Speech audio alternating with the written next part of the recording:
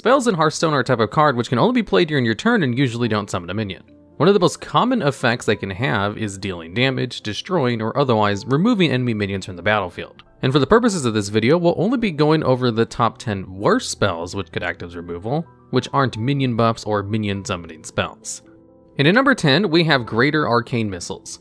This 7 mana mage spell fires 3 missiles, which can target any enemy and deals 3 damage to each. Greater Arcane Missiles was originally designed to be bigger and better arcane missiles, a staple tempo mage spell for a while, which could be either used as a finisher or as a removal to kill 3 minions which had 3 or less health. The problem is, even though Greater Arcane Missile deals 3 times the damage, it costs 7 times as much, which is a really bad deal for the effect. The only reason Arcane Missiles was played was because it was a decent efficient 1 mana spell, which could be used with Mana Wyrm, Flamewaker, and Sorcerer's Apprentice to quickly burst down and overwhelm your opponent. Besides, if you really wanted a removal spell which could deal 3 damage and clear the board, there are tons of better options out there. In Mage alone, you could use Flamestrike, Fire Cell, Tunnel Blaster, and Flame Ward, all of which do a much better job as removal. And before you ask, having spell damage doesn't increase number of missiles you shoot, but the amount of damage each of your three missiles does. This is way, way worse, since if one of your juiced up missiles hits a 1-1, it'll waste a ton of damage, which could have killed a huge minion or gone for face. I will give it that, if used on an empty board, it's not half bad as direct damage spell to burst down your opponent with especially considering the pre-nerf Pyroblast and Massive Cthulhu offers similar amounts of direct damage for the mana. But since this list is only ranking spells on how good they are at removal, this point will be slightly discounted. Greater Arcane Missiles makes the number 10 spot on this list because although it was pretty bad removal spell, it has seen the slightest bit more competitive play than the rest of the cards of this list because of its ability to also deal face damage. And at number 9, we have Embrace Darkness. This 6 mana priest spell lets you select an enemy minion to steal at the start of your next turn. And at first glance, this card seems amazing, especially since stealing minions is one of the best effects you can have in a card game, because it effectively lets you go plus 1 in card advantage. Unfortunately, there's a reason why Mind Control costs 10 mana and Embrace Darkness costs 6. Mind Control, and by extension Mind Control Tech, steals one of your opponent's minions as soon as you play it, and gives them no way to counter it when you play it. Embrace Darkness, on the other hand, gives your opponent a whole turn and a myriad of options to play around the mind control effect. The best case scenario of when to play this card is when your board is empty, your opponent is low in cards, only has one giant threat on the field, and Embrace Darkness's mind control effect goes off, letting you steal it. And even in this ideal case, you still have to take damage from your opponent's target since it can still attack and isn't under your control yet, and still gives your opponent outs. In a more realistic case, what your opponent would probably do is try their best to kill their minion by trading into one of your own, effectively wasting the card and the mana you spent on Embrace Darkness. Or, even if you did manage to steal the minion you wanted, it probably is so damaged and useless that you might as well not have even bothered. And while you could make the argument that at least you destroyed a minion for 6 mana, an effect usually priced at 4 mana, you still had to let it attack either face or trade into one of your minions to do so. That said, the best case scenario described earlier could sometimes happen in long, drawn out control priest matchups, especially versus other priests. And using one of priest's many spell discovery options, they could sometimes generate a copy of Embrace Darkness, steal one of their opponent's threats, and gain a massive advantage, which is why this card sits at the number 9 spot on this list. And at number 8, we have Crush. This warrior spell costs 7 mana, lets you destroy a minion, and costs 4 mana less if you control a damaged minion. When this card was first printed, it seemed like another natural inclusion in Control Warrior, a deck that aimed to remove all of your opponent's threats with ease and outlast your opponent with value. You see, the thinking at the time went, more removal meant more ways to deal with threats, which meant better survivability. So, why was it never played?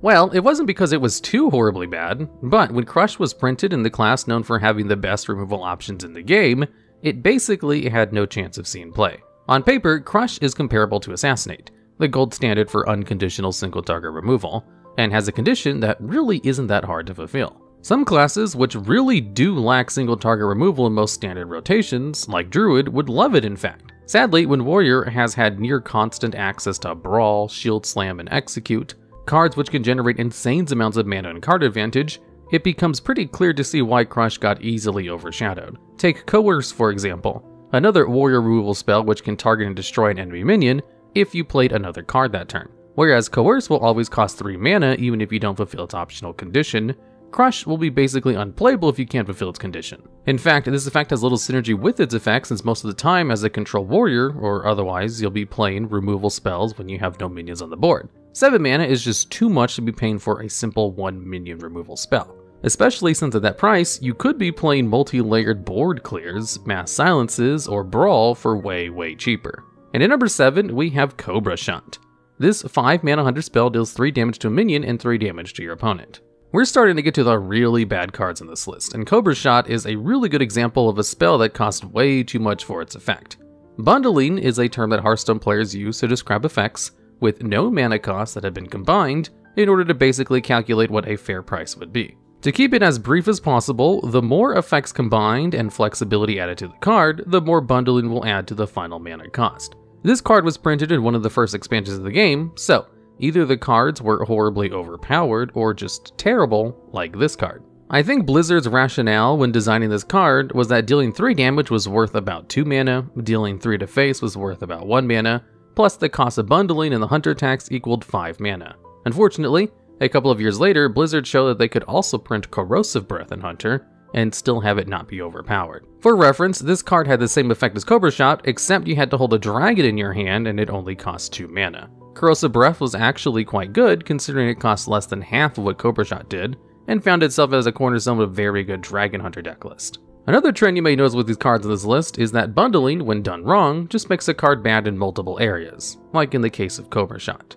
And in number 6, we have Dark Bargain. This 6 mana Warlock spell destroys 2 random enemies and discards 2 of your cards. The astute among you may recognize that Dark Bargain will still work even if you have an empty hand, effectively removing the horrible downside of this card. Unfortunately, even if this were a good effect for the cost, most of the time you'll still have to pay the discard cost too.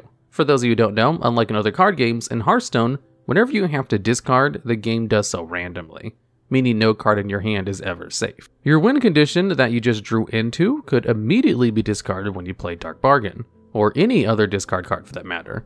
And as of yet, no cards have been printed that let you selectively protect any cards in your hand, just ones that benefit from when you randomly do. And for as bad as this entire mechanic sounds, discard decks have actually been very good in the past. Unfortunately for Dark Bargain, this meant that their deck lists were very refined and had no room for an awful removal spell, even if it did synergize with the deck.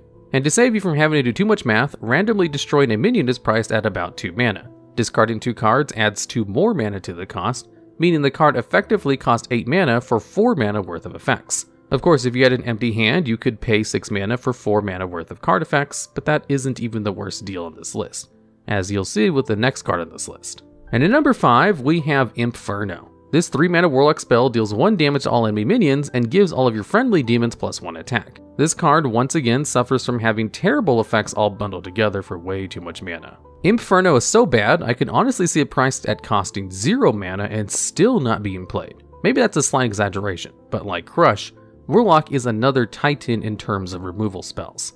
And though it may seem like a minor factor, having access to a hero power that can draw you cards whenever you want allows Warlocks to be able to quickly comb through their deck and find their best removal spells. Looking at Impferno's effect, both of them are worth 1 mana at most. So the Soil, a card which can give all of your minions plus 1 attack, gives flexibility and works even if your minions aren't demons, cost only 1 mana. Fell Rattler prices dealing 1 damage to all enemy minions at about half a mana, if you exclude its body. So not only does this card have effects worth half its mana cost, it also has two of the most random effects stitched together. When buffing minions, or demons in this case, you probably want another effect that synergizes with an aggro deck, like summoning more minions or dealing face damage. Instead, Blizzard decided to tack on a control effect, and a pretty bad one at that, with an effect that favors building a board. And it really doesn't help that there hasn't been any good cheap demon-centered decks that have been competitive in the three years since it's been out. At least Impferno doesn't damage your minions, but by costing 3 mana, it makes it basically useless if you just want to use its demon buffing effect or board clear effect. Some great Warlock removal that comes to mind, like Defile, Plague of Flames, and Dark Skies, can do everything Impferno can do, and for less. Well, except for buffing minions. And at number 4, we have Ramming Speed. This 3 mana warrior spell simply forces any target minion to attack one of its neighbors.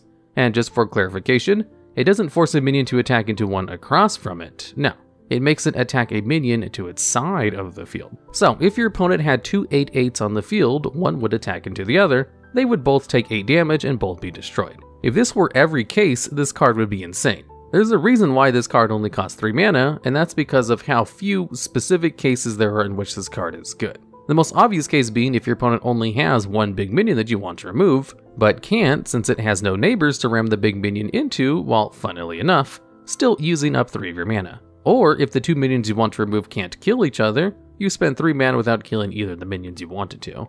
And in by far the most painful case, if the two minions you want to slam into each other are separated by a third smaller minion, or if you lose the 50-50 and your target attacks the wrong neighbor. In any case, this card requires so much setup and assistance from other cards to function optimally that it's usually not even worth running over more simple, reliable warrior removal. Not to mention, if you do really want this effect on a more efficient card, Supercollider gives you 3 opportunities to use a ramming speed on a weapon, at the cost of taking some face damage when attacking an enemy minion, and while Ramming Speed is technically a solo removal spell, it usually needs a lot more help to get close to even being worth running. And at number 3, we have Impbalming. This 4 mana Warlock spell lets you destroy a minion and shuffles 3 1 1 vanilla imps into your deck when you do so. Now at first this card doesn't seem that bad, especially considering the 4 mana is pretty standard for its effect. And to those unfamiliar with Hearthstone, shuffling 3 useless cards may not sound that bad, but when every deck is required to have 30 cards in it, you're going to inevitably draw one or two during a standard game. And when you draw a worthless imp, you're basically losing a card you would have drawn instead, effectively making the cost of Impbalming the possibility of messing up three of your future card draws. Pretty much the only real advantage this card has is to delay fatigue, a Hearthstone mechanic which does increasing amounts of damage whenever you draw a card with an empty deck. Reno Warlock was once a strong deck that actually played Blastcrystal Potion, a similar removal spell which destroyed one of your mana crystals instead of shuffling three imps into your deck. And while it was because they really needed single target removal at the time, Impbalming was printed years later during a time when Warlocks got much, much better removal, and when every card drawn was critical for staying alive or staving off aggro decks. And as decks get more and more powerful over time, it'll make drawing cards, unless the cost of drawing useless ones, hurt a lot more. And at number 2, we have Cannon Barrage. This 6 mana rogue spell deals 3 damage to random enemy and repeats its effect for each friendly pirate you control. So, if you control 2 pirates for example, it would randomly fire 3 cannonballs that deal 3 damage each. The main problem with this card is that it's just a really expensive win more card. A type of card which only works well when you're already far ahead, a poor finisher, and very bad as a reliable board clear. Win more cards are usually quite bad, especially for removal spells, since you'll typically want proactive cards or cards that can help you catch up when you're falling behind. You see, even though you could potentially deal 24 damage with this card, it's also really, really hard to get more than 4 of any type of minion to stick around the board for more than a turn or two. And it really doesn't help that the pirate tribe is made up of cheap, frail minions which try to win as fast as possible. Basically, if you're playing a pirate focused deck right, it should either be as a heavy aggro deck or as a tempo deck which prevents your opponent from ever sticking a minion on the board. Again, while Cannon Barrage could function as a game finisher, since its damage could actually hit your opponent's face, for this list, we need to see how good it is as a removal spell. And just like Greater Arcane Missiles, board clears, which rely on randomly targeted minions,